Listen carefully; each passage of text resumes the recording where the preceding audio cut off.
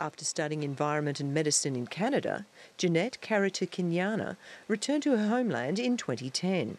She set up her line of anti-malaria cosmetics in the capital, where she experiments with plants and herbs like catnip and citronella. According to the American Chemical Society, it's these ingredients that help reduce mosquito bites by up to 91%.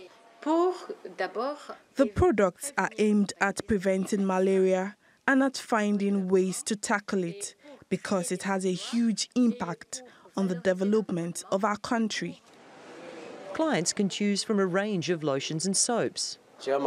I have been using these products for a while. I like the fact that they are all plant based and made from locally sourced ingredients. I used to fall sick from malaria often, where I would get malaria at least twice a year. But ever since I started using these products, I have not fallen sick in at least three years. I haven't had malaria in years. Even when I have the flu, I come here and I ask them what I should take to help with the flu, and they guide me and give me the natural products that will help cure the flu. I even use their products like the soaps and oils when my children are sick. From three employees, she's grown the business and now has 20 staff on the payroll, with plans to expand even further.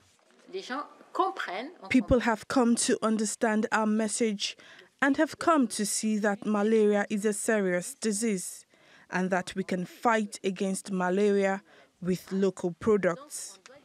Close to 2,000 people died from malaria in 2017 in Burundi.